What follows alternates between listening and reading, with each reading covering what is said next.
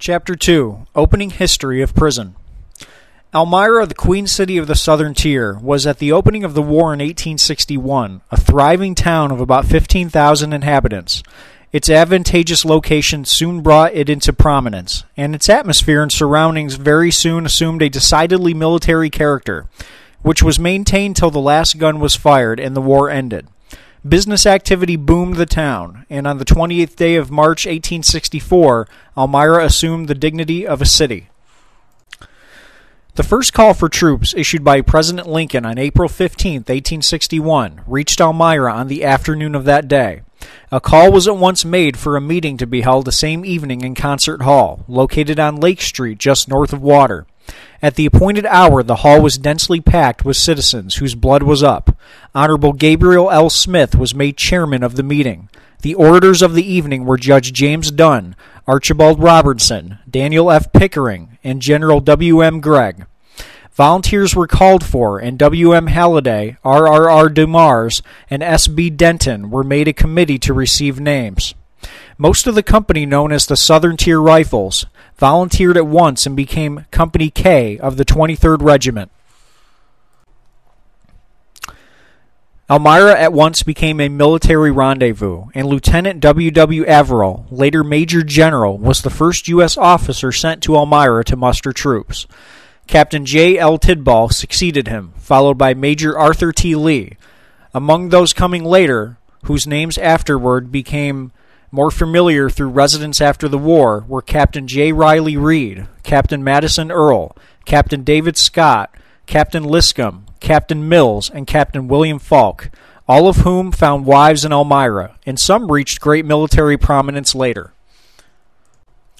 The first regiments to be mustered in were the 12th New York Volunteers on May 13th, the 13th New York Volunteers on May 14th, and the 23rd New York Volunteers on May 16th, which latter was composed largely of Elmira citizens.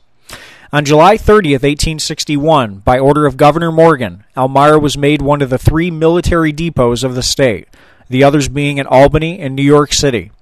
Brigadier General Van Valkenburgh was appointed commanding officer, and Colonel Chase C.B. Walker quartermaster. At the same time, Elmira was made a depot of the general government, commanded by Lieutenant Colonel S. Eastman, with Captain Simon as quartermaster and Captain Sappington as commissary, the two latter serving as such for nearly the whole period of the war. Three large camps were created, known as Barracks Number 1, located in the Arnett Field, south of Washington Avenue and east of Lake Street. Barracks Number 2, located in the old Fifth Ward near the present site of the Northern Central RR shops, and Barracks Number 3, located on West Water Street above Hoffman Street. In process of time, a general hospital was built on Davis Street near Clinton, and another on William Street near Church. The commissary storehouse was located on the southeast corner of Railroad Avenue, then called Wisner Street, and Church Street, on the spot now occupied by the Barton and Whedon building and the Silsby building. The old building, which for many years occupied the ground between these buildings, but was torn down in the fall of 1911, was a part of this wartime storehouse. From May 1861 to May 1864, Elmira was the scene of much military activity. Regiments of soldiers were mustered and drilled before being sent to the front. Finally, in 1863, it became the draft rendezvous. In the early part of 1864, it was found that barracks number 3 were practically empty, and the government immediately grasped the opportunity of utilizing them for a prison camp. The first record of the birth of the Elmira prison camp is given in the following official correspondence. Adjutant General's Office, Washington, May 14, 1864. Colonel Hoffman, Commissary General of Prisoners, Washington, D.C. Sir, I am today informed that there are quite a number of barracks at Elmira, New York, which are not occupied and are fit to hold rebel prisoners. Quite a large number of those lately captured could be accommodated at this place. I give you this information for you to make such use of it as you think proper. Very respectfully, your obedient servant, E.D. Townsend, Assistant Adjutant General. Washington, D.C., May 14, 1864. Honorable E. M. Stanton, Secretary of War, Washington, D.C. Sir, I have the honor to report that there are now about 10,000 prisoners of war at Point Lookout where 5,000 more may be accommodated.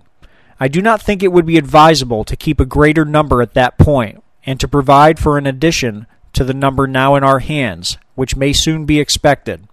I respectfully suggest that one set of the barracks at Elmira may be appropriated to this purpose. I am informed there are barracks there available which have, by crowding, received 12,000 volunteers. By fencing them in at a cost of about $2,000, they may be relied on to receive 8,000 or possibly 10,000 prisoners. They can be shipped directly from Belle Plain on steamers already ordered for the purpose to New York and thence to railroad to Elmira, which will not make the transportation very expensive. Fort Delaware can accommodate a few more officers, but no more enlisted men. I have the honor to be, very respectfully, your obedient servant, W. Hoffman, Colonel, 3rd Infantry, and Commander General of Prisoners. Office Commissary General of Prisoners, Washington, D.C., May 19, 1864. Lieutenant Colonel S. Eastman, Commanding Draft Rendezvous, Elmira, New York. Colonel, you will receive instructions from the Adjutant General to set apart the barracks on the Chemung River at Elmira as a depot for prisoners of war. The barracks will be enclosed by a suitable fence, and I would respectfully suggest that you construct it after the style found to be most secure at other depots. It should be 11 or 12 feet high, the frame being on the outside, with a walk for sentinels on the outside 3 or 4 feet below the top, thus giving them a good view of all that passes within. There should be ample room between the fence and the buildings, that prisoners may not approach it unseen. Two gates will probably be sufficient, one toward the river. The guards should be outside the enclosure. Please report on the condition of the barracks the cost of the fence, and any other additions which may be required, and the number of prisoners the place will accommodate. From what I have heard, I judge that the number will be 8,000 or 10,000. I am unable to say how soon the barracks will be required, but possibly within 10 days. I enclose a circular of regulations for the government of military prisoners. I am Colonel very respectfully W. Hoffman, Colonel 3rd Infantry and Commissary General of Prisoners. Headquarters Draft Rendezvous, Elmira, New York, May 23, 1864. Colonel W. Hoffman, Commissary General of Prisoners, Washington, D.C. Colonel, I have the honor to acknowledge the receipt of your communication dated May 19, 1864, in reference to the barracks at this point that have been set aside as a depot for prisoners of war, and requesting me to report the condition of them, etc. There are two sets of barracks at this post, situated about two miles apart. They are designated as number 1 and 3. The latter is on the Chemung River and is set to be used for prisoners of war. These barracks will be built to comfortably accommodate 3,000 troops without crowding. The bunks are double. The buildings are in excellent condition and well ventilated. 4,000 prisoners of war could be quartered in them, and there is plenty of ground room in which tents could be pitched to accommodate a thousand more. The mess room is sufficiently large to seat 1,200 or 1,500 and the kitchen can cook daily for 5,000. There is an excellent bakery that can bake daily 6,000 rations. There is no hospital at these barracks, hence hospital tents will have to be used for the sick. A new hospital for 200 patients is being erected about one mile from the barracks. The guardhouse is a building 75 by 45 feet, now used to hold deserters, and will have to be used for that purpose until another can be built at barracks number 1. The number of troops now here is entirely inadequate to guard a large number of prisoners, being only three companies of the Veteran Reserve Corps, numbering about 200 men. A fence 12 feet high was commenced today and will probably be completed in 10 days, surrounding the barracks. I respectfully request that six copies of circular or regulations for the government of military prisoners be forwarded to me. Also, such blanks as may be required to make returns. I would recommend that no prisoners be sent here until I report that the barracks are ready to receive them. I am Colonel very respectfully your obedient servant, S. Eastman, Lieutenant Colonel, U.S. Army, Commanding Depot. In establishing the fence, it is advisable, if practicable, to enclose ground enough to accommodate in barracks and tents 10,000 prisoners. Please report in detail what will be necessary to put the place in condition for this service including tents for the guards, tents for prisoners, kitchens for prisoners, which should be fitted up with farmers' boilers of from 30 to 120 gallons. According to convenience, etc., giving as far as practicable the cost. Very respectfully, your obedient servant, W. Hoffman, Colonel, 3rd Infantry, and Commander General of Prisoners. Headquarters, Draft Rendezvous, Elmira, New York, June 30th, 1864. Brigadier General L. Thomas, Adjutant General, U.S. Army, Washington, D.C. General, I have the honor to report this post in a very good condition. Barracks and grounds are in excellent police. Subsistence good. Barracks number 3 has been set aside for the accommodation of prisoners of war and is enclosed by a fence 12 feet high with sentry boxes on the outside the platform being four feet below the top of the fence. These barracks are now ready to receive prisoners. On their arrival, the recruits and drafted men will occupy barracks number one. It will be necessary to keep in the guardhouse at number three barracks until another can be built at barracks number one, all prisoners sent here as deserters. I respectfully request that I may have authority to erect a guardhouse at barracks number one with as little delay as possible. There being no quarters inside the enclosure of barracks number three, the officers having charge of the prisoners will go into tents, and I have directed the quartermaster to issue wall tents to them, which I respectfully ask the adjutant general to approve. There are but 12 officers here that I can assign to duty with prisoners, and as there will be about 50 companies of 200 men each in it, it will be necessary to have more officers on duty at this post. There should be one officer to every company if possible and officers who are unfit for field service can perform this duty as well as able bodied ones. Very respectfully, your obedient servant, S. Eastman, Lieutenant Colonel, USA, Commanding Rendezvous. Office Assistant Quartermaster, Elmira, New York, June 30th, 1864. Brigadier General M.C. Meigs, Quartermaster General, Washington, D.C. General, I have the honor of informing you that Barracks Number 3 has been placed in complete condition for the accommodation of 10,000 prisoners and the necessary guard. Eight acres of land have been enclosed with a substantial board fence 12 feet high with sentry boxes and elevated platforms so that the guards can overlook the whole ground, have been constructed. Wells have been sunk and all the necessary arrangements made for the immediate occupation should it be required. The General Hospital also is completed and ready for the accommodation of 200 patients. A plan or drawing of these premises will be forwarded as soon as it can be prepared. Very respectfully, your obedient servant, J. J. Elwell, Captain and Assistant Quartermaster. It will be noted that the above report says eight acres of land were enclosed as a prison. As other published reports or statements have varied in the number of acres, it is apparent that it has been guesswork on the part of those who made the statements. To determine the fact, the author himself measured the plot and finds as follows The face line on Water Street measures about 1,200 feet. The west line from Water Street running at right angle to the Water Street line about 800 feet. The south line running on an angle of about 120 degrees to the river measures about 1,000 feet. The total of these figures equals 3,000 feet.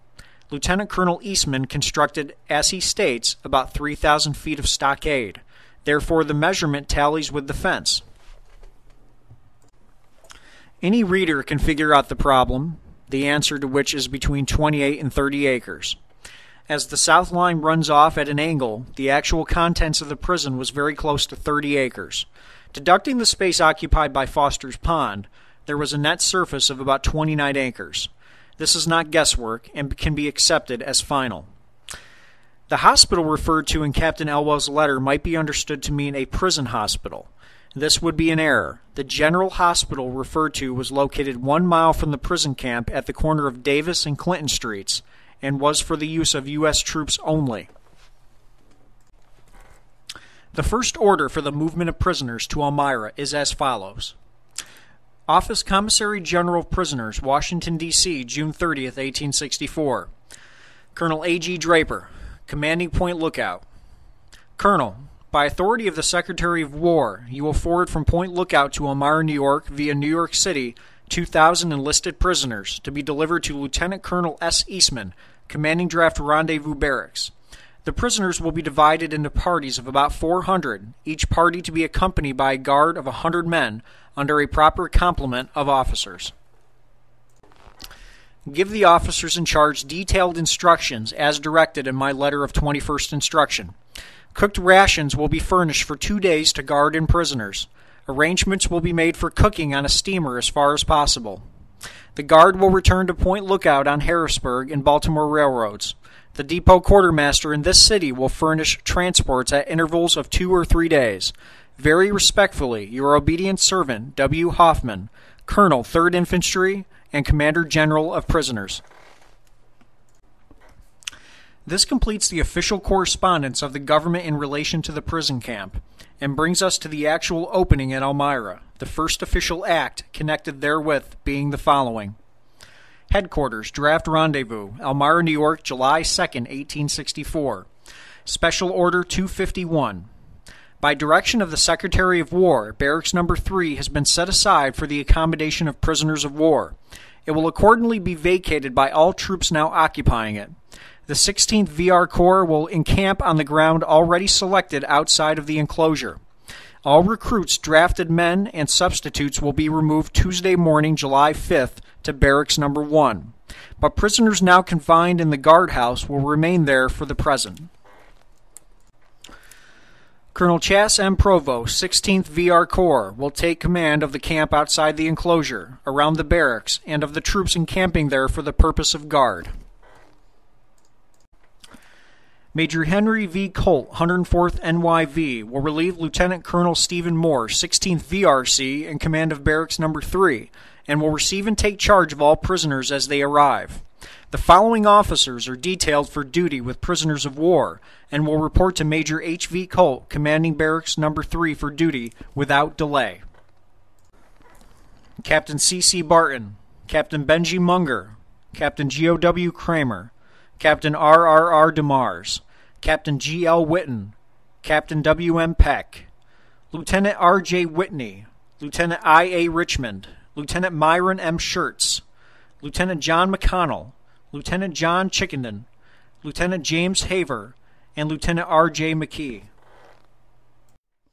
The prisoners, as soon as they arrive, will be formed into companies, each of which will be under charge of a commissioned officer detailed for the purpose. One enlisted man will also be detailed with each company to act as orderly sergeant. The officer in charge of prisoners of war will comply strictly with the requirements of the circular from the Office of the Commissary General of Prisoners, dated Washington, D.C., April 20th, 1864. Letters sent to prisoners of war will in all cases be brought to headquarters for examination before being taken to the barracks for delivery. Letters from prisoners of war must also be brought to these headquarters for a similar examination before they are forwarded. Sergeant Major Charles W. Rhodes is appointed to examine all communications sent to or by prisoners of war by command of S. Eastman, Lieutenant Colonel USA, commanding rendezvous, by T. R. Lounsbury, Lieutenant and AAG. The following general instructions and information were issued on the same date by Colonel Eastman. Rule 21.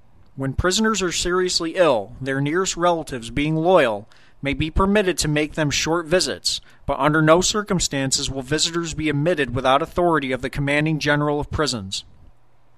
The hospital will be under charge of senior medical officer present, who will be held responsible for the good order and treatment of the sick to the commanding officer.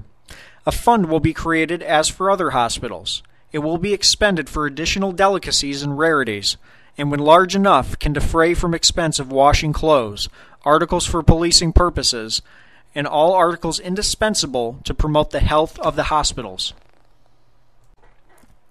Surgeons in charge report semi monthly the deaths of prisoners, their place of internment, and number of grave. All moneys and valuables of deceased prisoners will be placed in the prison fund.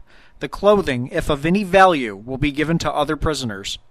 The prison fund will be made up by the difference of the prisoner's ration given below and that allowed by law to soldiers of the U.S. Army. Rations for prisoners. Pork or bacon, 14 ounces, fresh beef, 14 ounces, flour or soft bread, 16 ounces, hard bread, 14 ounces, cornmeal, 15 ounces, and to each 100 rations, beans or peas, 12 and a half pounds, rice or hominy, 8 pounds, soap, 4 pounds, vinegar, 3 quarts, salt, 3 and 3 fourths pounds, Potatoes, 15 pounds. Sugar and coffee or tea will be issued only to the sick or wounded on the recommendation of the surgeon in charge at the rate of sugar 12 pounds, coffee ground 5 pounds or coffee green 7 pounds, tea 1 pound to each 100 rations. The regular prisoner's ration will be increased in quantity and also include tea, coffee, sugar, and molasses for those employed in public works about the camp. They will also be allowed compensation from the prison fund. Mechanics 10 cents per day, and laborers 5 cents, the amount to be placed to their credit, or paid in tobacco to those who desire it. With the prison fund may be purchased such articles as may be needful for the health and proper condition of the prisoners. The sutler for the prisoners is allowed to furnish certain prescribed articles at reasonable rates, for which he pays a tax to the prison fund. All money in the hands of prisoners when they arrive will be taken by the officers in charge and returned when they are released. Prisoners will be allowed to write and receive letters, not exceeding one page of letter paper, on matters of private nature to be examined by the proper officer. The successive official acts in connection with the formation of a new prison camp have been recorded, and on July 3rd we find everything in readiness for the first act of the drama. The prisoners are on their way, and while waiting for their arrival, let us turn aside a moment to describe their future abode. The Elmira prison camp was located on West Water Street, about one mile from the center of the city, and had been known for three years as Barracks Number 3. The camp began at a point very near the edge of a dry run known as Hoffman Creek, in which there is never any water except during a freshet. This creek crossed Water Street, running in a southeasterly direction to the Chemung River. The prison camp extended westward along Water Street about 1,200 feet. The lower or easterly line followed the course of the creek to the river, a distance of about a thousand feet. On the west end, the line ran at a right angle with Water Street direct to the river, about 800 feet distant. The plot contained about 30 acres. There was in the center of this area a stagnant pond of water from 15 to 30 feet wide, beginning at a point about 20 feet from the stockade fence on the west side and extending below the east stockade. This body of water has always been known as Foster's Pond and remains there to this day, as shown in plate number 53, serving no purpose except as a skating rink for boys in winter before the river freezes over. It is probably the only landmark still remaining which would be recognized by any of the prisoners, excepting perhaps the old Foster homestead, which stood directly opposite the main gateway into the camp. That also remains just as it stood then. There is a sheer drop of 15 feet on the north bank of this pond, and the ground slopes away from Water Street toward the pond, so that the pond is really about 20 feet below Water Street. Between the pond and the river, there is about 300 feet of river bottom. Sandy soil, perfectly dry except when the river rises more than 6 feet above low water mark. This area comprises a little more than one third of the entire camp and is known as the Flat, and will be called so in this history. Whether Foster's Pond is fed by seepage through the sandy soil from the river or by springs, no one seems to know. It has been there since the town was located and is never dry. When the river is low, the pond is also low. The camp, which will be spoken of in this book, comprised about two thirds of the area and was a fine grassy plot. At the time of its occupation as a prison camp, Barracks Number 3 consisted of 35 wooden buildings each about 100 feet long, 16 feet wide, and high enough for two rows of bunks. They stood side by side in a line parallel with Water Street and occupied the center of the high ground between Foster's Pond and Water Street. These barracks were constructed for the occupation of our own volunteers at a time when there was no thought of their ever being occupied by prisoners of war. They were built of good lumber, double boarded with tight roofs and good floors. The floors were elevated nearly two feet from the ground to provide a good circulation of air in summer and to prevent dampness in stormy weather. They were erected in 1861 through 62, when lumber was plenty and a lot better quality than it was possible to obtain in 1864. The condition of these buildings was first class in every particular. The grounds were well kept and in wholesome condition. No prisoner of war ever entered a place of confinement better adapted to such use or more pleasant to the eye. This is shown by the description of Mr. Keiley in his book. He says, The whole site is a basin surrounded by hills, which rise several hundred feet and are covered with luxurious growth of hemlock, ash, poplar, and pine. This was a most grateful relief from our point lookout experience, where nothing met our eye in any direction except the sky, water, and prison fence. But a more available and practical improvement was in the water, which is here pure, cool, and abundant, and the newcomers luxuriated in the delicious beverage with the gusto of a lost traveler in Sahara.